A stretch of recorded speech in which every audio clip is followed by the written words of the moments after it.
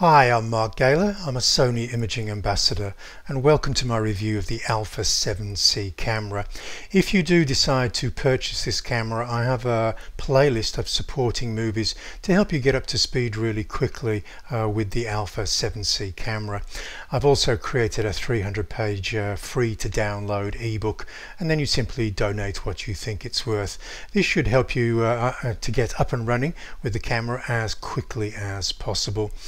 Now first let's take a look at what's new with the Alpha 7C camera and in the second half of the review I'm going to go into detail about how I would uh, prepare and create a camera kit. Now obviously this is a compact full frame camera and it really only makes sense if you try and keep your full full frame system light, compact and portable. So I'll be giving you my personal recommendations. Okay, so let's take a look at uh, the Alpha 7C. Now, some photographers may be coming up from Micro Four Thirds or APS-C sensors. Now, obviously, the full frame sensor does give you an advantage over dynamic range, high ISO performance, and the AF capability of this camera is simply amazing. One of the downsides, however, you do tend to pay a little bit more and the lenses tend to be a little bit bigger and heavier but we can get around that by choosing wisely. First of all, Obviously people will want to compare this with Sony's other full frame cameras and here we see it sitting alongside the Alpha 7 III camera and as you can see it's not just the camera that is compact that new kit lens is also compact and I, again I do stress that really this camera only does make sense if you are looking to try and keep the entire kit compact. Now let's take a look at some of the new features. Obviously um, we have seen this very, a vari-angle uh, screen appear on the A7S III camera but now it's also appeared on the A7C. Now that does allow you to get in front of your own camera for either selfies or vlogging and that is a very useful feature. It also allows you to turn the screen around so when you're putting it back in your camera so if you throw your car keys into your camera bag there isn't a risk that you're going to damage that monitor. There is the movie button. Again, we saw this on the Alpha 7 um, S camera, the 3 camera. And uh, this uh, is either a dedicated movie button, but you can also uh, reprogram that button into a um, custom key if you're wanting to shoot stills. Obviously, you can see um, on the other full frame cameras, we do have a couple of custom keys on the top of those cameras, and those are gone now. But we can reprogram that movie button if we want. Now, one of the um, advances in the uh, um, uh, shooting movies on this camera is that we do have all of the autofocus improvements, and that does include Eye AF in 4K. So if you're out there shooting with your f1.4 or 1.8 aperture primes, you're always going to have reliable focus on that eye. Now we also have the improved AF on button. It used to be just for people perhaps wanting to assign it to a custom key or use it for back button autofocus. But now we can be in AFS, a, single focus mode, and if we decide to press the AF on, it overrides that, puts it into continuous and starts tracking the subject nearest your focus point.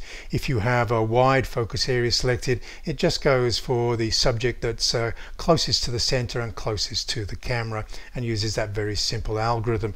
90% of the time it automatically starts tracking what it is that you want to start photographing.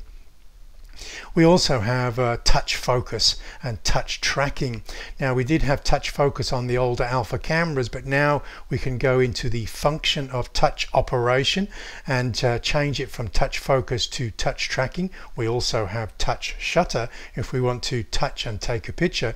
But now uh, touch tracking is perhaps one of the great features is if the subject suddenly starts moving we simply have to touch it on the monitor and the camera will then follow that subject. It's also great if we're maybe filming and we decide that we want to walk towards the subject. We just touch the subject and it will hold focus.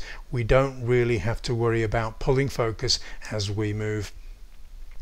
We also have the animal IF and we have seen that on other alpha cameras as well but usually the animal IF is uh, disabled if we go into AF tracking.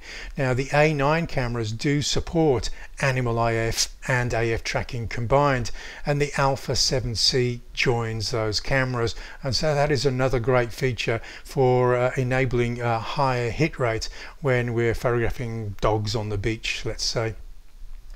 The other thing that uh, some people will notice that may be missing on the Alpha 7C is that um, the multi-selector, otherwise known as the joystick.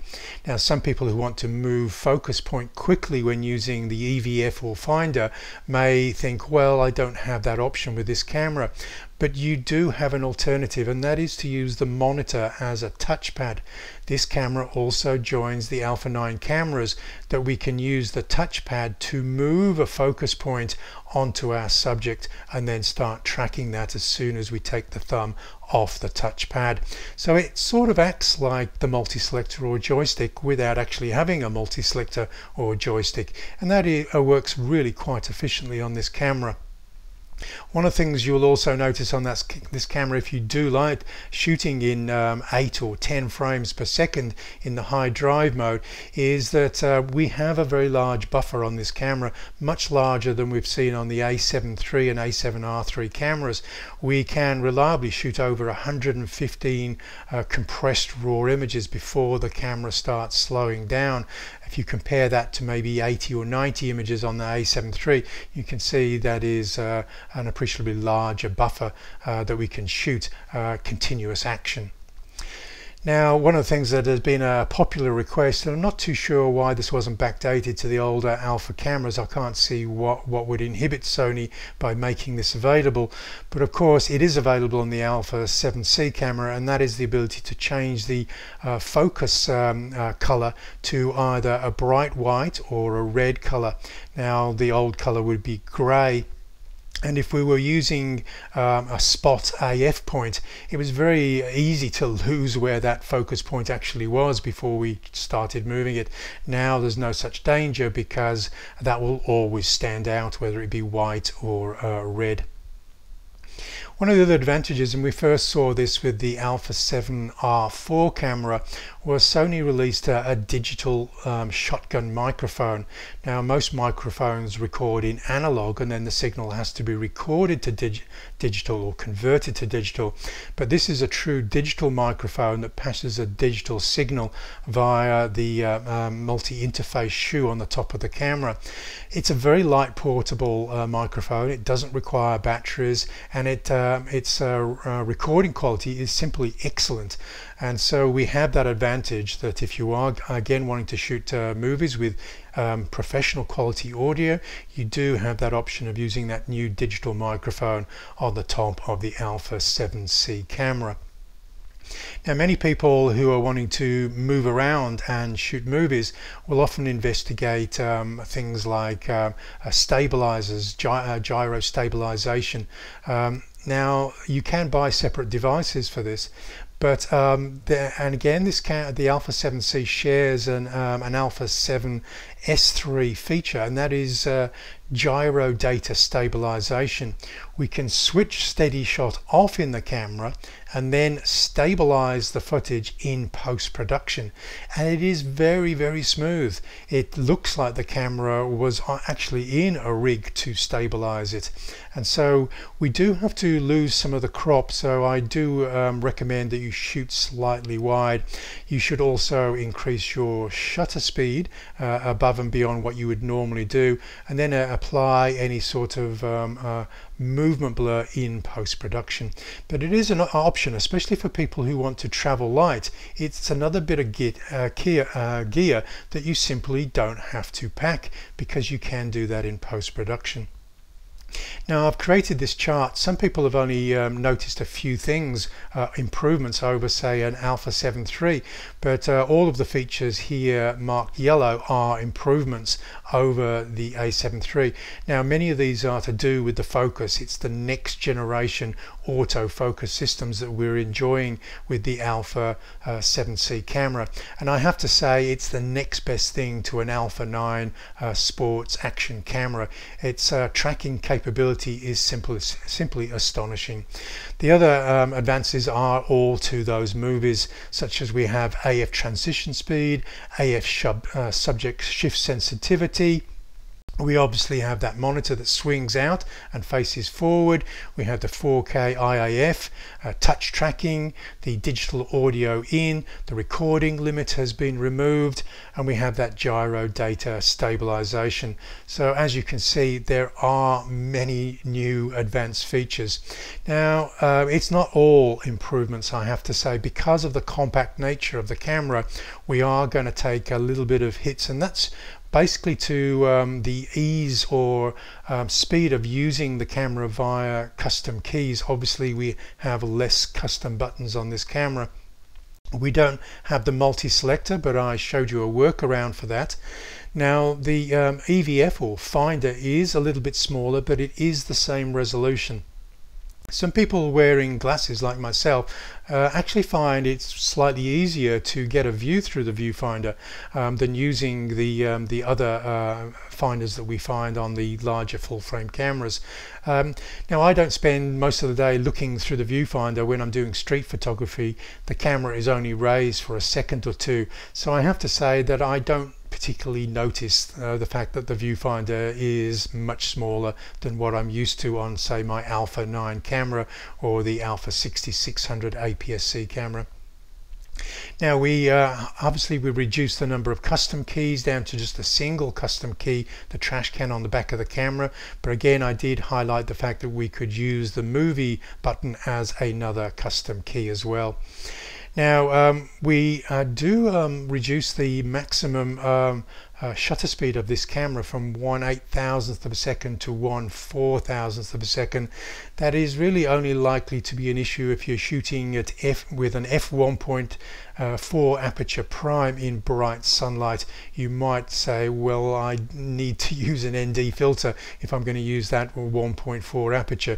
Otherwise, I do risk overexposure there is also um, a drop in the um, the maximum shutter speed before going into high speed sync from 1 250th of a second to 1 160th of a second. Obviously there is a new shutter mechanism that's different to the Alpha 7 III camera in this new Alpha 7C camera. We also uh, and I'm not too sure how some people will respond to this is we cannot disable the E front curtain shutter. Now some people will do this when using non-native Sony lenses with fast shutter speeds or non-native Sony flash systems. Now obviously that is not going to be an option. Now that's not a great uh, disadvantage for me because I predominantly use Sony lenses and Sony flash so I'm not going to miss the uh, the, the option of uh, switching that E front curtain shutter off but that is to be noted. Let's move on to um, uh, beyond what's new, what's different, but onto how we can keep our camera system small and compact and lightweight. Uh, Mike O'Connor uh, photographed this um, shot and I'm actually uh, the middle person in this silhouette here. And I actually told Mike I said oh that's me in the middle. And he said how do you know that's you in the middle there? And I said I'm the only one not carrying a backpack or a large tripod um, tripod. I'm very much in favor of traveling only with the gear that I know I will use that day and no more. I'm not in favor of carrying everything and the kitchen sink around on the off chance I might use something. So the Alpha 7C, the compact version of the full frame camera, is certainly a camera that will find uh, a place in my own workflow. Now I've been using cameras of this size and weight uh, probably all of my career. I started uh, in 1980 using analog cameras where they were almost identical in size and weight to the new Alpha 7C camera. So I find, find these very comfortable to carry around either with a kit zoom or a prime lens. And so we're going to be looking at how to keep that weight in your hand down and also the weight down in your messenger bag because I'm basically done with carrying backpacks. I don't want to be a gear mule anymore. I want to be able to carry just a few kilos in a, in a small and light messenger bag. Now there are some photographers who um, would prefer to use um, um, a 7 10 times zoom lens and I have to say the the advantage of an alpha 7c system will start to dissipate because what I've um, showing here is the uh, Alpha 7C with a seven and a half times zoom. This is the Tamron 28 200. Now obviously that is going to be a much larger lens than the equivalent lens that we would use a seven and a half times zoom on an APS-C system. So as you can see here is I've got my Alpha 6400 with a seven and a half times zoom which has a full frame equivalent of 28 to 200. It's the 18 to 135 lens and you can see this package does come a lot smaller than working in full frame. Now we do get an advantage in the full frame camera that we have much better high ISO performance but the whole system is getting uh, sufficiently larger now to put me off this particular workflow and I personally if I wanted to use a seven and a half times zoom I would probably stick to the APS-C cameras. So what I'm going to do uh, moving forward now is show you my preferred system when working with the Alpha 7C. Now uh, that uh, last slide was the kit lens on the Alpha 7C and two f1.8 primes. That's the uh, FE20 f1.8G which is just uh, one um, prime lens of the year on the DP Review 2020 awards very fine lens indeed. And it gives you the wider uh, field of view than the kit lens which um, uh, goes as wide as 28 so if I'm doing astro or landscape that 20 mil is going to cover that gap there. And I've also um, added the FE 1.8 the 85 1.8 is a fabulous portrait lens. It's light it's portable it's inexpensive and it's pin sharp wide open. In my opinion it has better bokeh than the Zeiss Batis lens which is larger heavier and almost twice the price. So all of that gear comes in at just 1.53 kilos or 3.37 pounds. You can see that is a very light combination and that will photograph 90-95% of what I intend to shoot when I'm shooting editorial, documentary, street, narrative photography. All of that goes into a light portable messenger bag. This is the Think Tank mirrorless mover i30 and you can see right at the bottom of this image here I have an iPad Pro and the bag is no bigger than the length of that iPad Pro.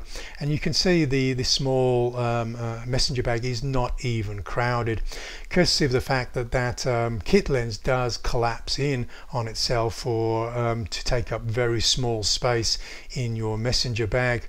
And uh, there is a picture of me um, taking um, the Alpha 7C out of that messenger bag and to give you an idea of the size I put that inset image there to show you that um, uh, this uh, uh, messenger bag can be carried uh, in a very indiscreet way uh, in, in, the street.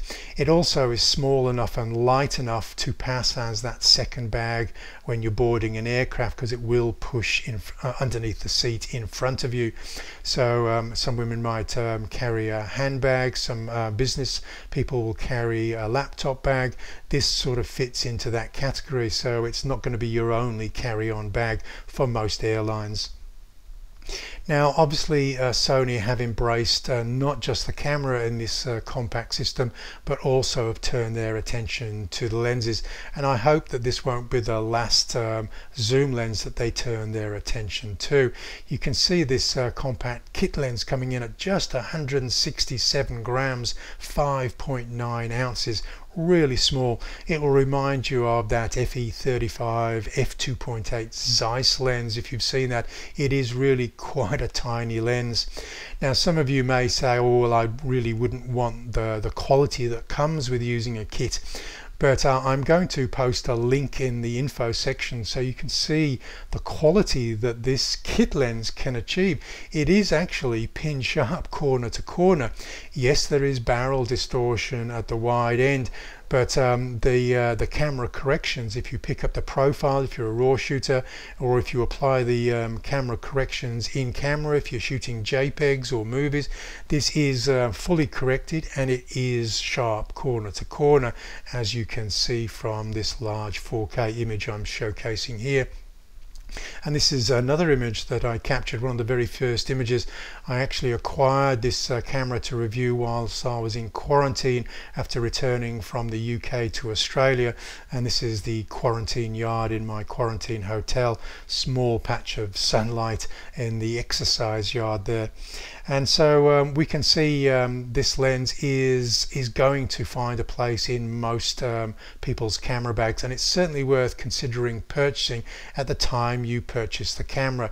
So rather than buying body only you add in that lens because it's going to cost you a couple of hundred dollars less if you make that or if you add that to the kit at the time of purchase. Now it doesn't have a very wide aperture but one of the beauty of one of these 24 megapixel full frame sensors is yes you might be shooting at uh, ISO 800 but if uh, in a really dark environment if that ISO climbs over 6400 you're still going to get usable images without reaching for one of those f1.8 primes. This 4k image was actually captured at ISO 10000 and it's still serviceable now let's uh, compare this um, camera, the Alpha 7C, with other compact full frame cameras. There are only a couple on the market. A lot of people wanted to compare it to other full frame cameras only and they missed the, the fact that um, uh, Sony also had to um, there'd been set a benchmark such as by companies like Sigma FP camera and uh, this is a, a, little bit smaller but the Sigma FP which is approximately the same price as the Sony Alpha 7C doesn't have uh, sensor stabilization and it doesn't have a viewfinder. So um, Sony are packing in a lot more stuff into a package that is only a very small amount bigger if we compare this with uh, another full frame camera, this time the Sony RX1R camera, which is a very expensive camera, much more expensive than the interchangeable lens Alpha 7C. But you can see with that little pop-up finder, which is actually smaller than the finder on the Alpha 7C, so everything is relative, you'll see that uh, the Sony Alpha 7C isn't that much larger than this little pocket camera and if we look at it side on um, the Alpha 7C is a little bit um, fatter.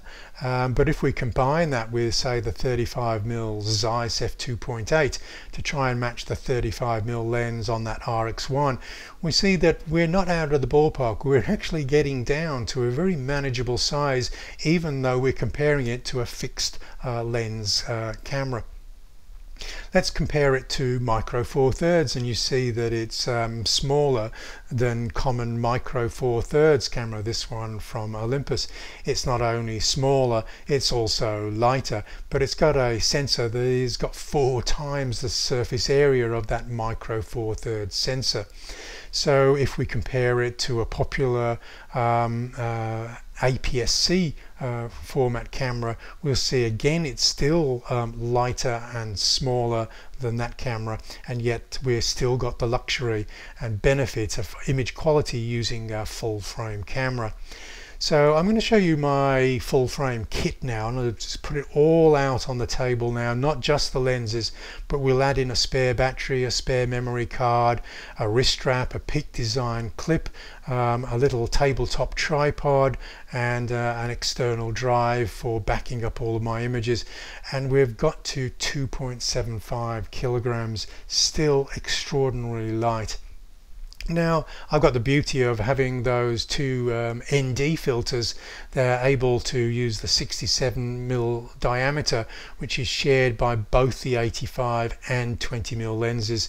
So I've got uh, one set of filters that fit both of my prime lenses now if I add in all of that and you want to measure all of that, this is packing weight. This includes the lens caps, it includes the back caps, includes the body caps, it includes the batteries and the memory cards inserted in the camera and you've got that 2.75 kilograms. Okay, so uh, and I've even added in uh, the um, the mirrorless mover bag into that uh, weight there. So we're looking at a very light kit that comes in that under that three kilo mark. If we want to extend that kit out even more, um, we've got a full kit now. Um, we're looking at uh, maybe a Sunway Photo LED fill light if you're a, a videographer or you're just using this for additional uh, fill light, even as a stills photographer. We've thrown in a battery charger, a Peak Design clip. Um, we've got a, a, remote in there and uh, we're still keeping that weight down and uh, even throwing in an iPad Pro and uh, all of those cables etc you're still going to get down to um, four kilos maximum. And obviously if you're leaving um, some of like things like the iPad Pro in a hotel room or the boot of the car because you're not walking around with that you've basically got 3.2 kilograms uh, in that bag. And that bag uh, weight will drop even further once you've got the camera in your hand if you're leaning towards a slightly larger messenger bag because you're wanting to maybe put your sandwiches, a raincoat, an umbrella, etc. in there, um, the one that I currently use is uh, a Brixton Owner. It's a very sort of um, uh, luxury uh, sort of leather, uh, Italian styled leather bag. And you can see there's plenty of room um, to uh, um, even put a 13 inch laptop into this um, larger bag there. Um, now occasionally I will photograph uh, sports, action, uh, wildlife, birds in flight but um, I will not break up the small light messenger bag for this. I will put maybe my Alpha 9 II camera with FE 200 600 lens in a separate very small backpack there and uh, the total combined weight of my um, uh, small messenger bag and this additional bag is coming in at the 7 kilos which is the international carry-on weight for bags going on to airlines and you'll see that uh, the size of that small bag. You could actually get both of these bags. It's a little bit of a squeeze but you could get actually both of these bags into the wheelie size bag. Now that will be a little bit heavy. You might have to take both cameras out to get it back down to the seven kilos because those little wheelie trundle bags that um, go in the overhead compartments on airlines are often um, nudging two kilograms in weight themselves now here are uh, some um, accessories that movie makers might want to uh, add in. Uh, there's the shotgun microphone which is very small and light.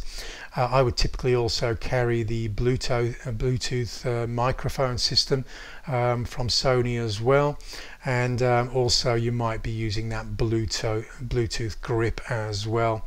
Uh, all very light portable uh, accessories for movie making and all will go into that uh, larger kit bag. At a squeeze they'll even go into the smaller messenger bag uh, if you don't mind crowding it out a little bit. Now I'm very much in favor of this uh, very light portable workflow. Uh, Bluetooth, there's not a cable in sight here now. We've got the wireless system on the top of the camera. We've got uh, the wireless remote and the wireless grip there. And uh, just remember you could walk around with that grip. Um, you will get shaky footage but you can stabilize that in post now with Adobe's, uh, sorry, um, Sony's free software which is that Sony Catalyst software.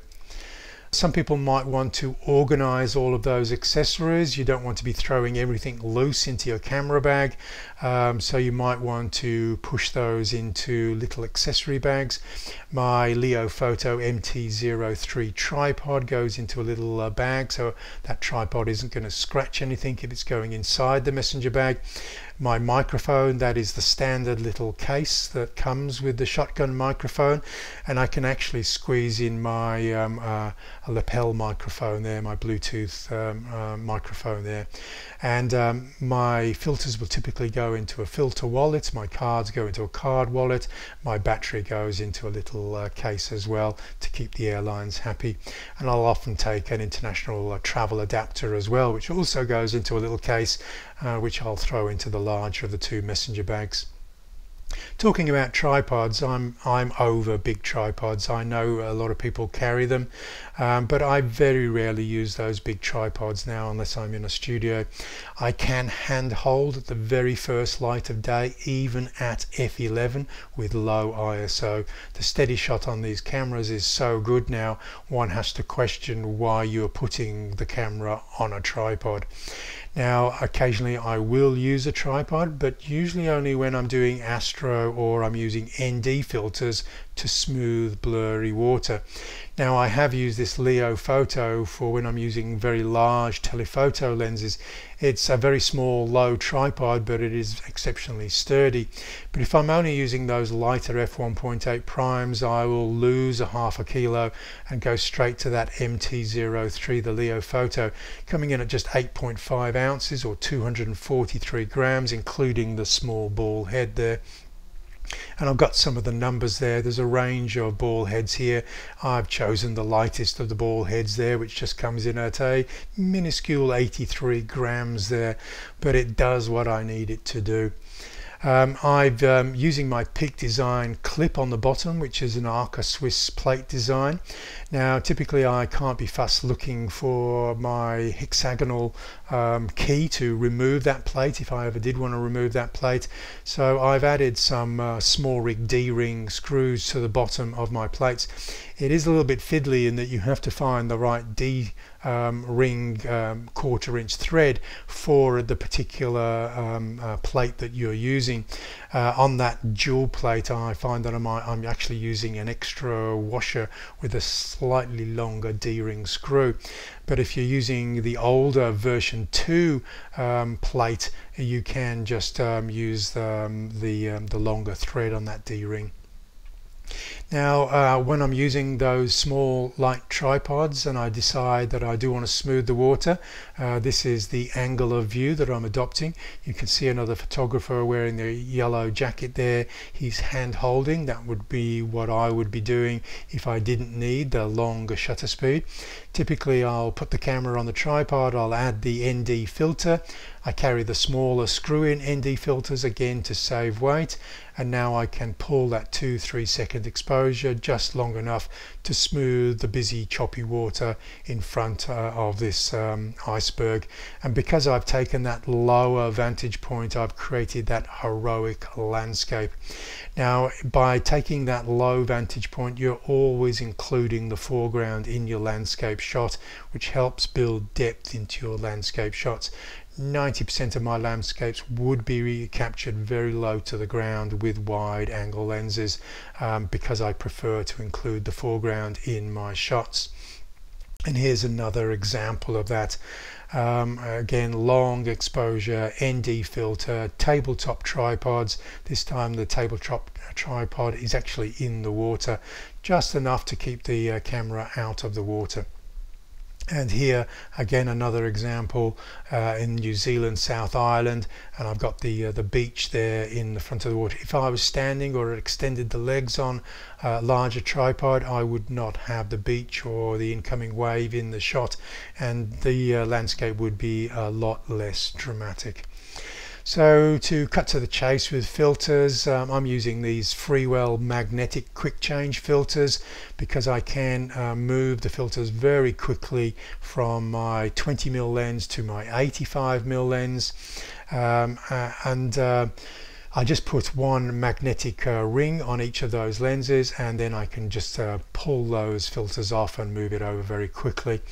Now I don't uh, pack a macro lens, I don't do a lot of macro but occasionally I do want to get closer to some small detail. So what I've chosen to do is just pack um, uh, a macro extension tube, a 10 millimeter extension tube in my filter uh, bag there, which will um, decrease the minimum focusing distance of my 85 mil prime.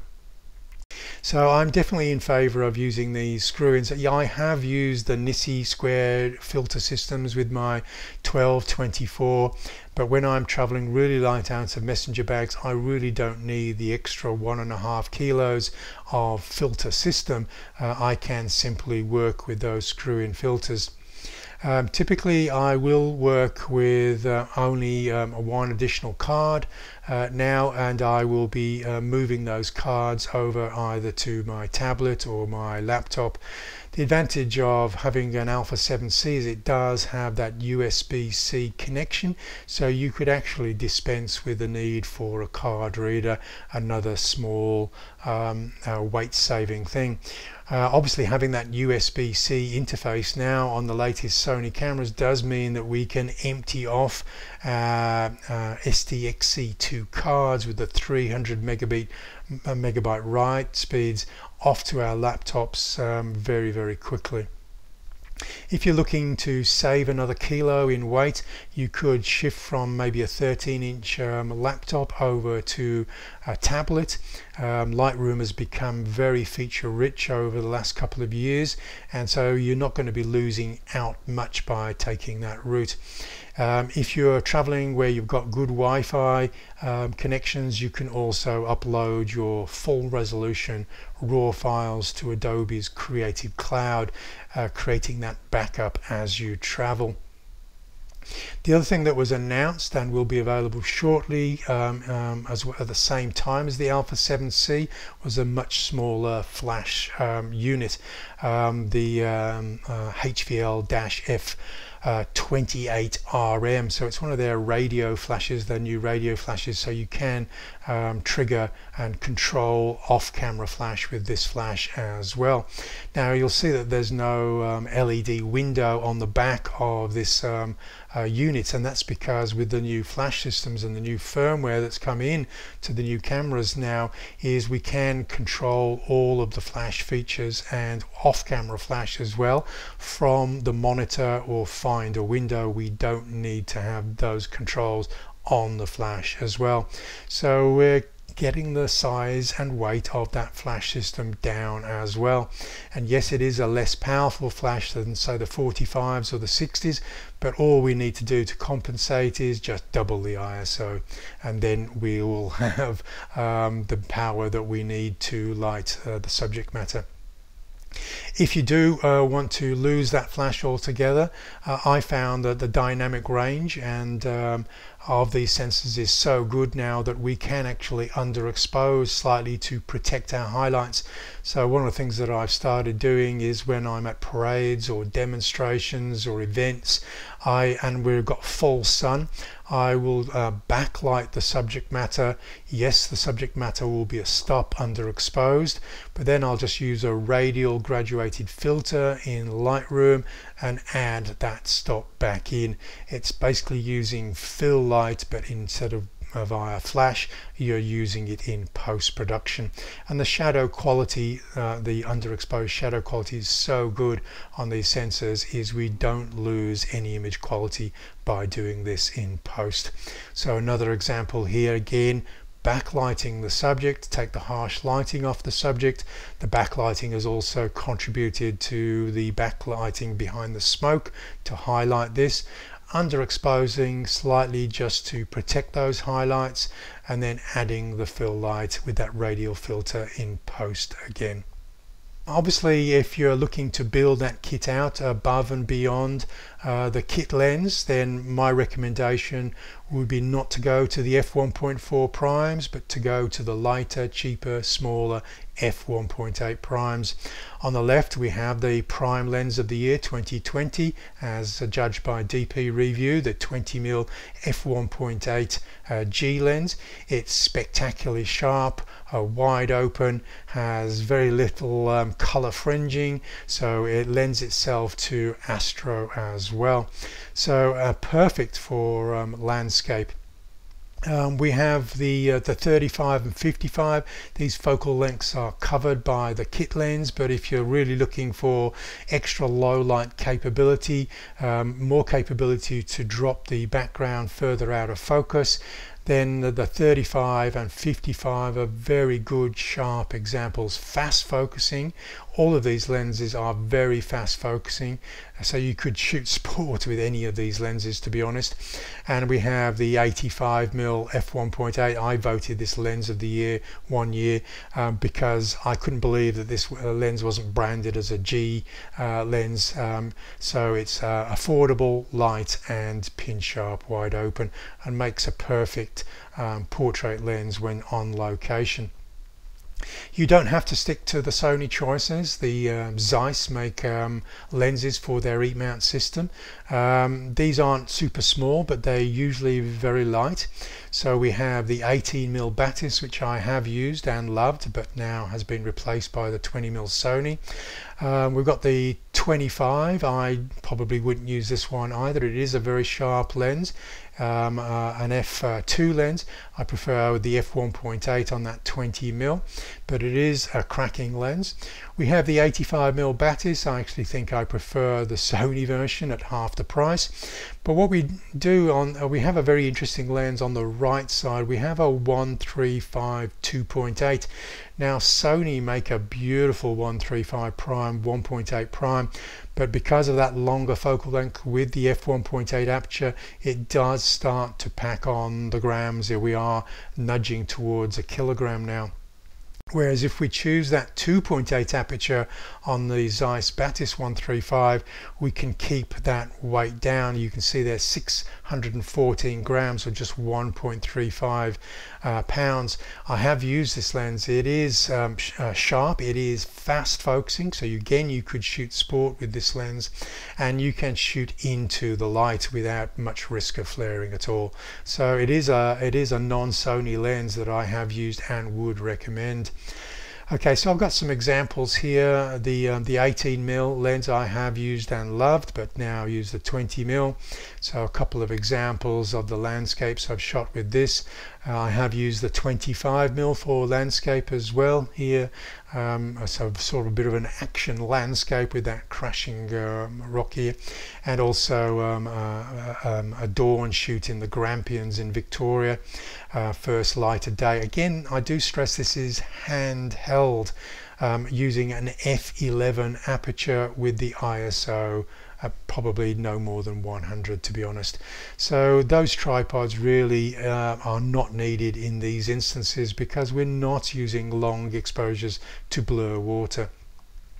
So I have used the Batis, I was using the Batis 85mm before the Sony was released, a cracking lens. I would typically recommend that you use it wide open. Um, the, the straight um, uh, aperture blades will create that hexagonal bokeh. If you start stopping down to f2.8 you do get the the best bokeh by just leaving it wide open at f1.8 um, as you can see here. The heck uh, the bokeh would start to deteriorate if I started stopping uh, this aperture down and I have used the 135 I've used this at um, an event and shot a, a complete event uh, with the uh, the Zeiss uh, 135 2.8 and as I said it is a fast focusing lens here so I've used this uh, for triathlon shoots uh, wide open and I've got a series of shots. They were all pin sharp uh, following this um, cyclist speeding past me obviously there there are more primes. There's there's a lot of primes. One of the great things about e-mount is uh, everybody's making lenses. So you can get cheap lenses you can get light lenses you can get really expensive expensive Leica lenses.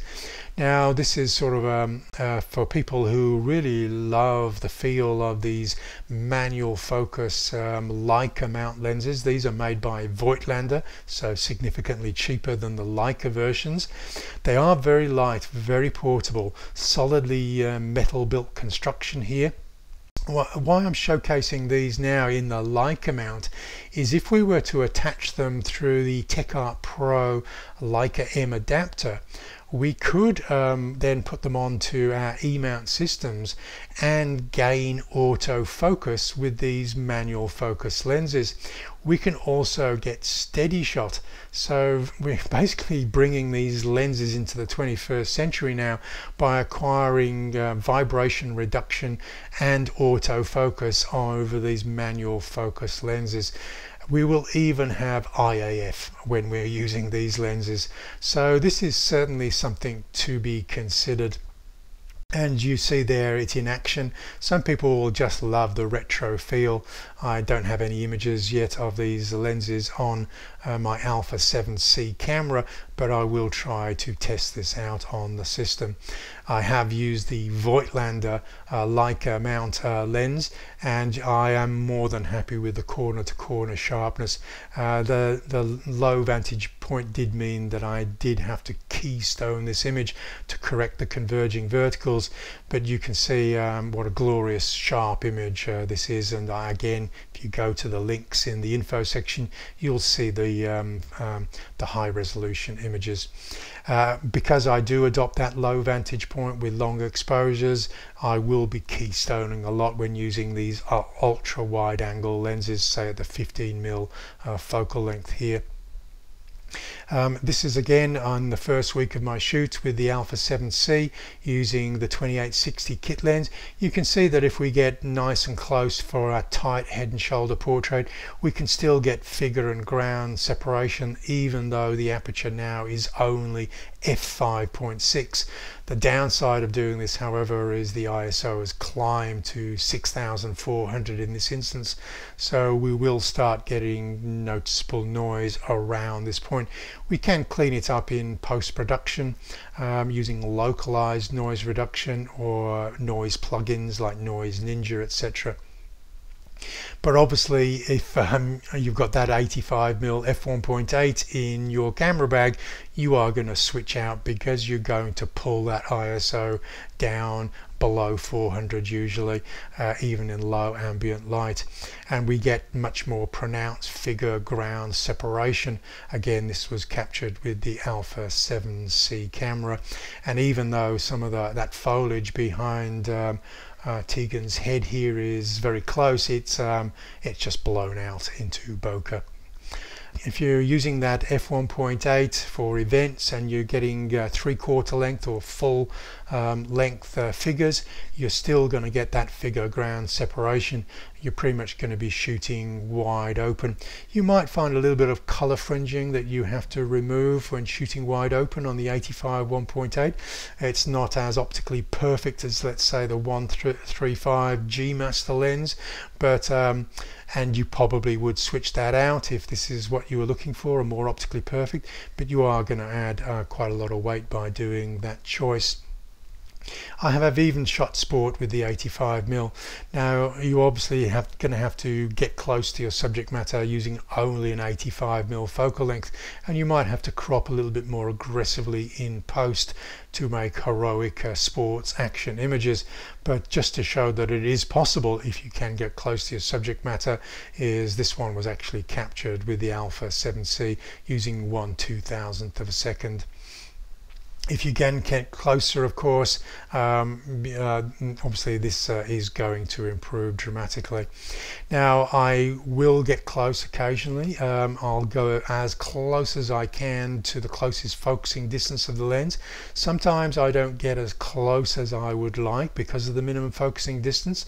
So in this instance uh, I've cropped in um, um, in post-production to get closer still.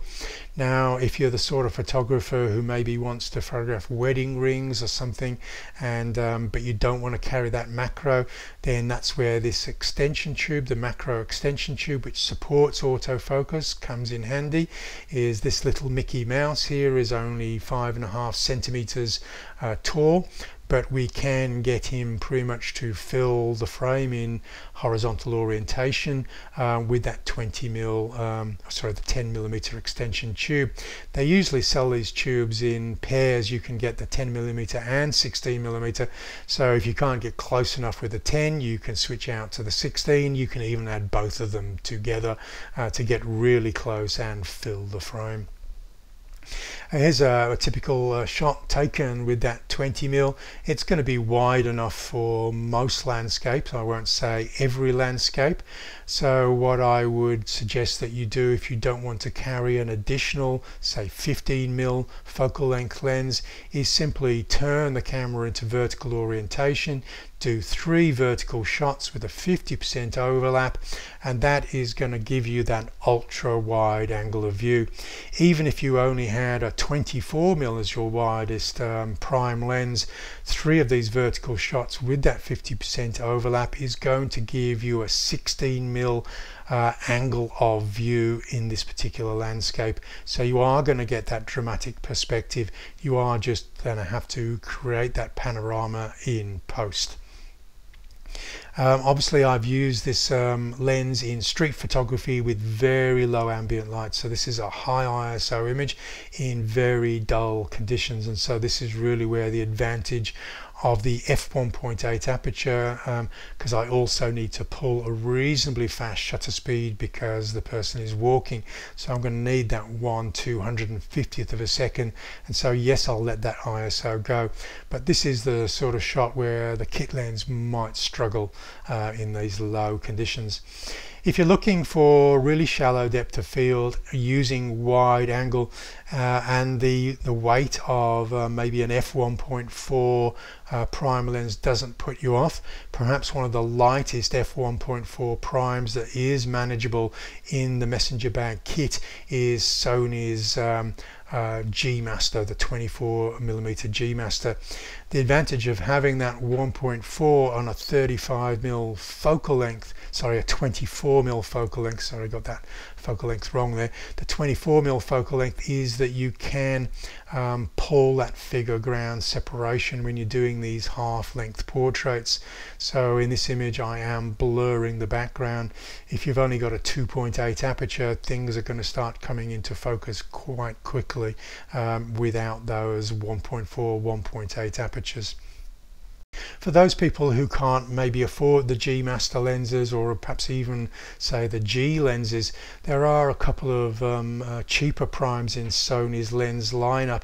Perhaps uh, one of the better ones is the 20mm f2 lens.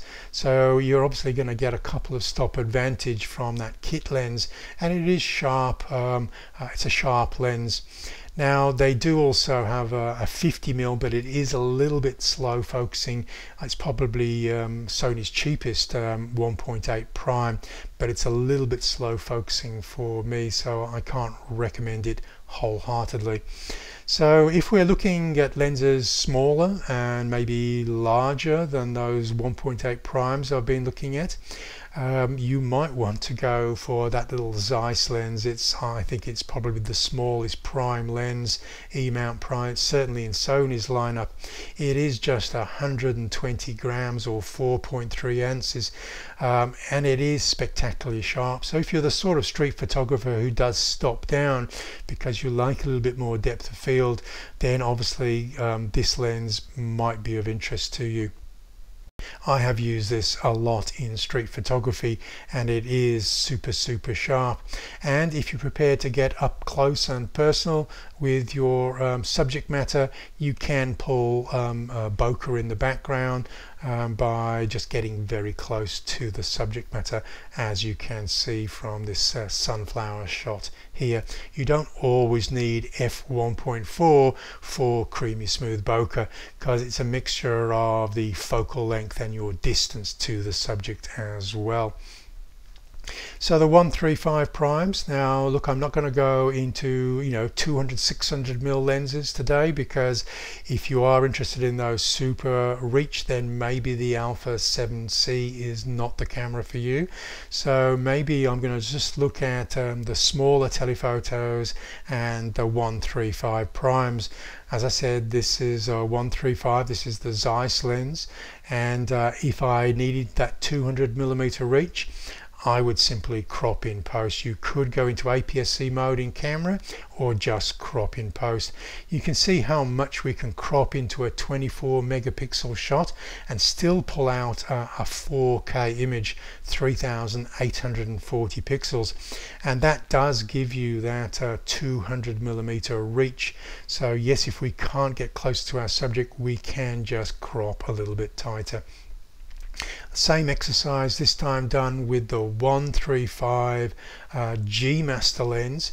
Spectacularly sharp I have to say but even with this lens I've cropped in really tight on the Alpha 7C in this instance but the autofocus was absolutely astonishing uh, with this G Master the, the G the 135 G Master is a really fast focusing lens. It's got the dual linear AF motors that we would find in their top of the range 400 and 600 millimeter prime sports lenses and they put those in the 135 lens.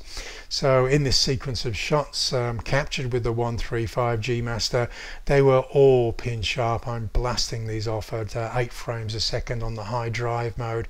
Typically when I'm panning the camera I'm avoiding the high plus because I don't get the live view in the viewfinder. So I'm panning with the high which is the 8 frames per second.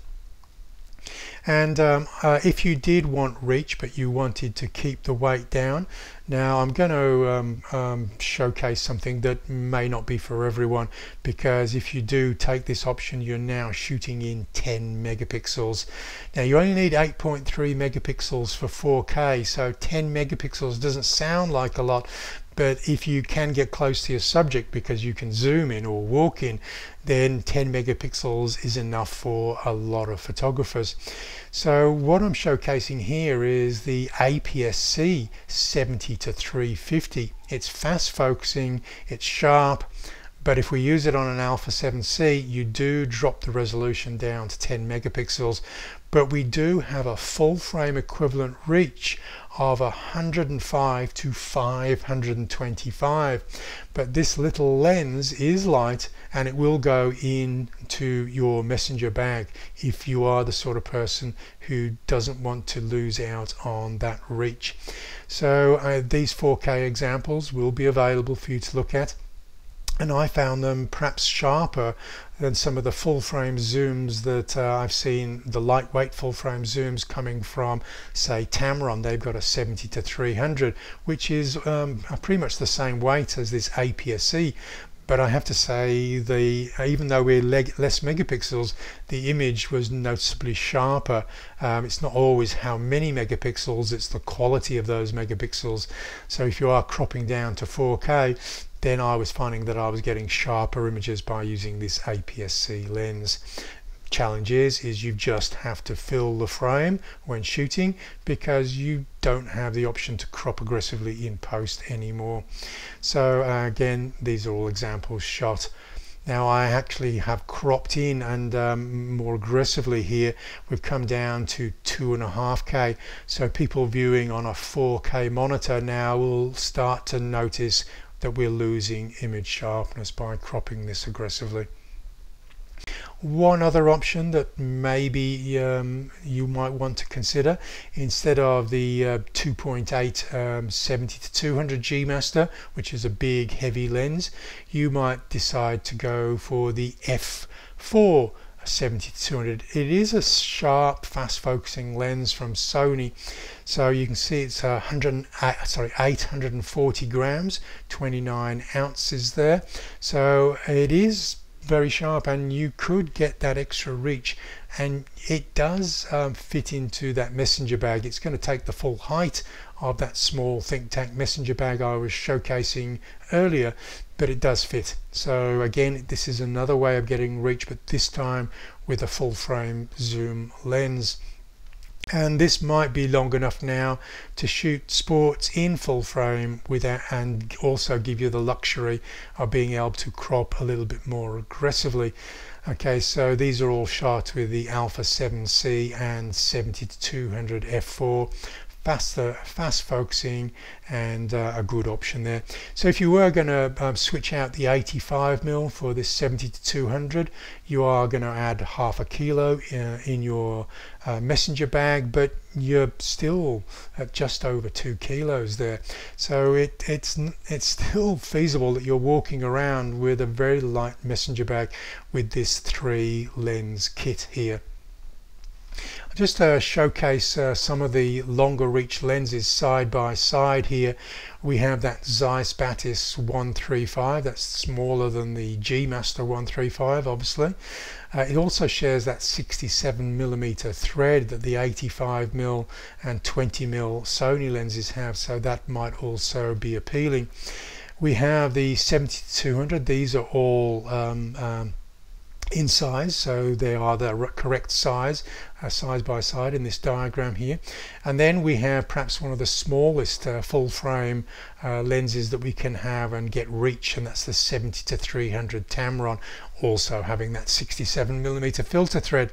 I have to say although it, it did keep up with running dogs on the beach and it was acceptably sharp I would say that it's not pin sharp. So if you are a bit of a pixel peeper and like to zoom in when you're editing your images, you're not going to be completely wrapped as you might be with say the Zeiss Batis or the 70 to 200 Sony here.